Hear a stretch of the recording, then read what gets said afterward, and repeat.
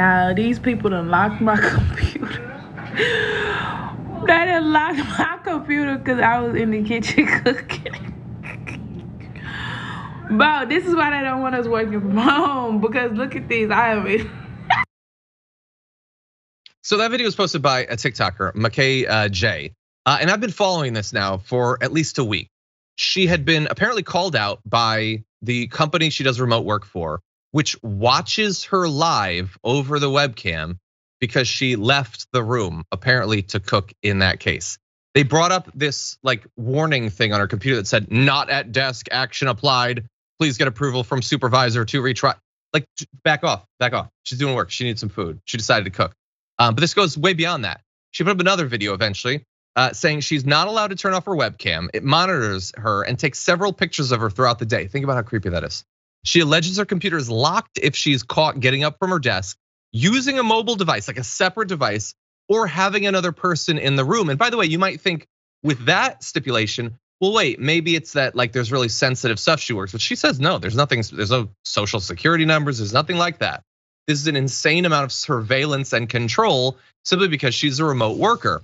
Now she says she was fired from her job because of the TikTok posts. But then there was an update that the uh, she was called into a Zoom meeting and they said they're going to do an investigation into her TikToks. Okay, and I thought at that point, okay, good. There's a little bit of uh, attention about this. Maybe they'll back off. No, they fired her in the end because of the videos that she put up identifying the insane, creepy surveillance. And by the way, not everybody is operating under as rigorous a surveillance regime as this right now. But remote work is a very significant portion of all the work being done in the US. It's not doesn't seem like it's going anywhere. And so I feel like we kind of have to have this as a hill that we're willing to fight and potentially die on because if we don't assert our rights when we're doing this remote work, then who's going to? The CEOs?